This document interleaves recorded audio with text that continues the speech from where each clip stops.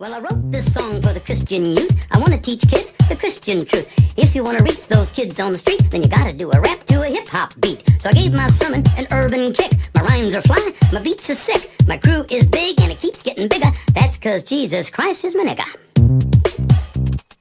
Woo! He's a life changer, miracle arranger. Born to the virgin mom in a manger. Water to wine, a drink exchanger. And he died for your sins.